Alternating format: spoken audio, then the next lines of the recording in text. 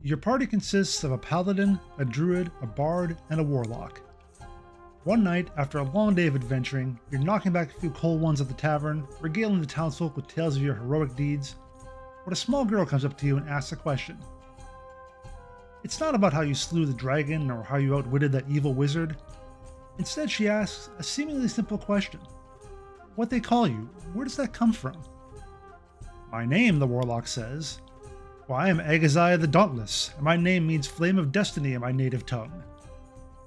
Satisfied with his answer, he turns away, only to have the girl tug on his robes. He's a little annoyed, but he's learned to be patient with inquisitive children, especially after what happened in that last village with the cow and the pitchfork. No, no, she says. I mean what they call you a warlock. What does that mean? The warlock laughs. Well, I make war on my enemies, of course. And the lock part? the girl asks. He opens his mouth to speak, but no words come out. He's never picked a lock in his life, though he has blown a few open with his Eldritch Blast, but he doesn't think that's why they call him a warlock. And you, the girl continues, you're a bard, right? What does that mean? For all her storytelling acumen, the bard is at a loss for words, and the druid and paladin are soon assaulted with similar questions. What do those words mean? The Player's Handbook for Dungeons & Dragons 5th edition lists 12 character classes. Some of them, like Fighter or Ranger, seem to have obvious origins, but what about the rest? What does that lock in Warlock mean? Where does Paladin come from?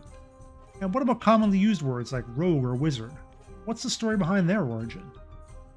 In this video, I'll take a look at the names of all 12 classes and see if I can learn why they're called what they're called. My starting point for this video was the excellent online etymology dictionary, which I've linked to in the description. If you're interested in word origins, it's a great resource and one that you can lose countless hours in. Not that I know from personal experience. Also, throughout this video, I'll be referring to Proto-Indo-European, which was a prehistoric language that today's European languages, including English, share as a common ancestor. So, without further ado, let's see if we can't answer that village girl's question and bail out our poor warlock as we uncover the history behind D&D class names.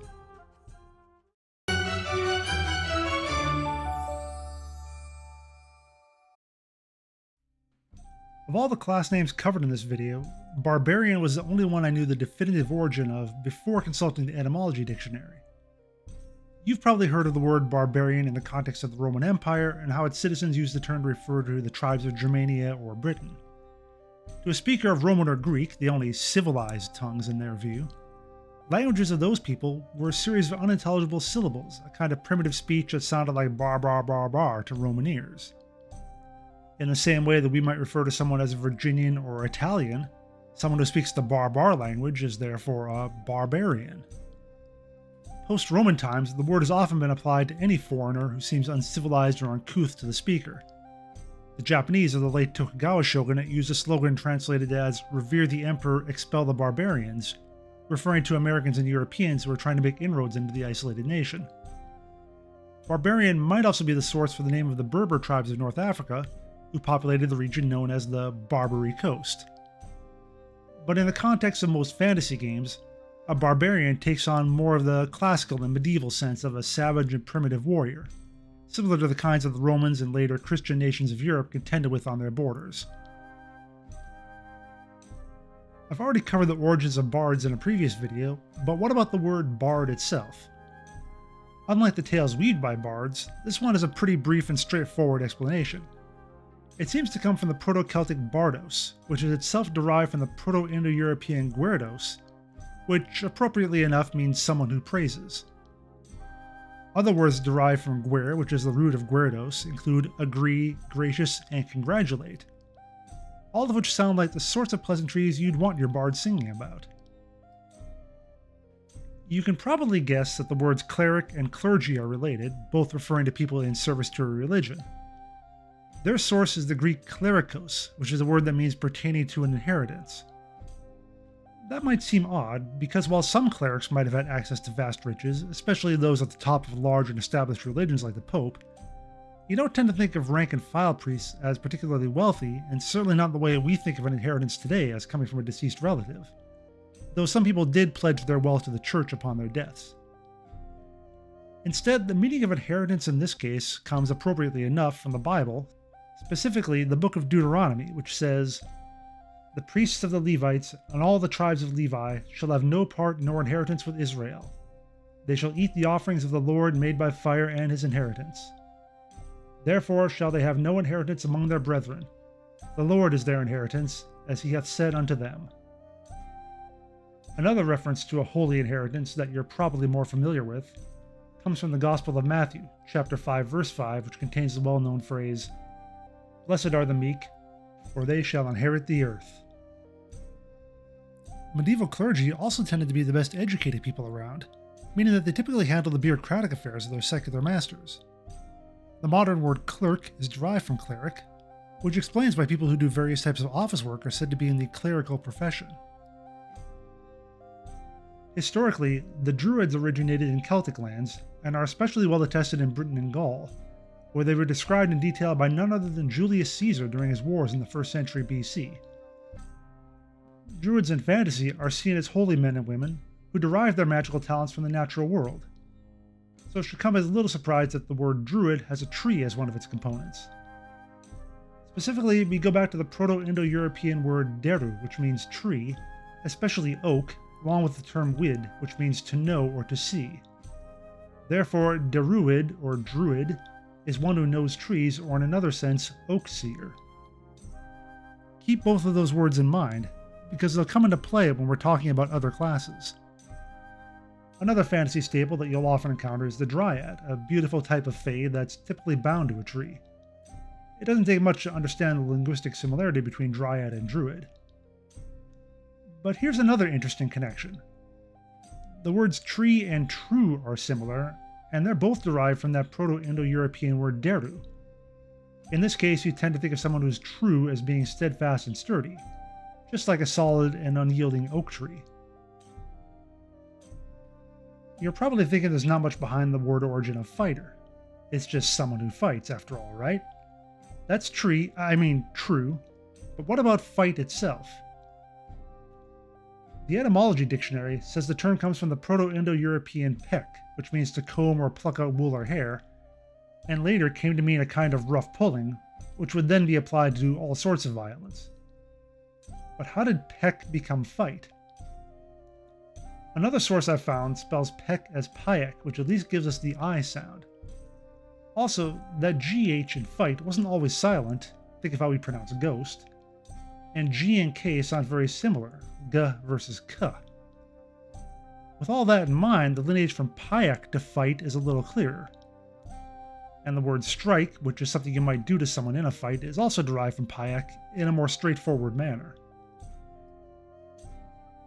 Whether you're thinking about monks in the European style, typically Christian men with shaved heads, or in the Asian style, which more resemble the kung fu masters represented by the D&D class, monks tend to live a solitary existence, and it's that solitude that lends them their name. The prefix mono means single or alone, such as in monorail or monogamy. And that's where we get the word monk, from this notion of solitude or singularity. But here's a question why spell it M O N K when it sounds more like M U N K?